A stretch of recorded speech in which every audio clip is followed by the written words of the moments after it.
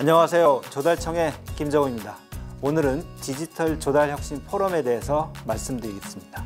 코로나19 이후의 경제 성장과 일자리 창출을 위해서 정부는 한국판 뉴딜 프로젝트를 추진하고 있습니다. 2025년까지 디지털 뉴딜, 그린 뉴딜, 그리고 안전망 강화 등 세 개를 축으로 분야별로 투자를 늘리고 일자리를 만들고자 합니다. 이 중에서 디지털 뉴딜은 전자정부 인프라, 서비스 등 우리의 강점인 정보통신 기술을 기반으로 디지털 초격차를 확대하기 위한 계획입니다.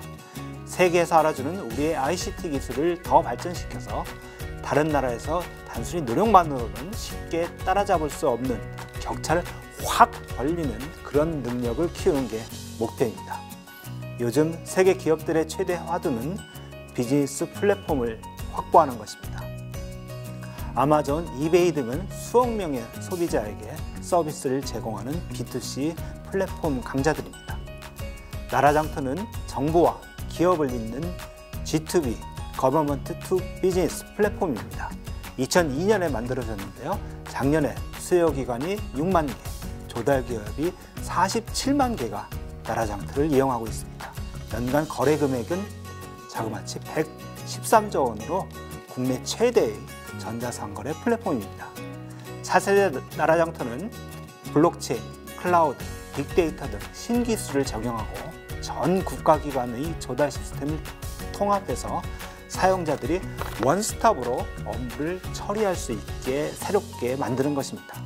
오늘 개최한 디지털 조달 혁신 포럼은 차세대 나라장터 구축 사업을 발주하기 전에 각 분야의 전문가와 사업 계획에 관해서 의견을 나누기 위한 자리입니다. 시스템 구축 계획과 적용 기술의 적정성에 대해서 심도 있게 논의했습니다. 차세대 나라장터를 성공적으로 만들어서 기업의 경제 활동을 돕고 디지털 뉴질에 적극 참여하겠습니다. 그래서 국민과 기업이 체감하는 성과를 만들어내겠습니다. 오늘은 디지털 조달 혁신 포럼을 계기로 나라장터에 대해서 설명을 드렸습니다.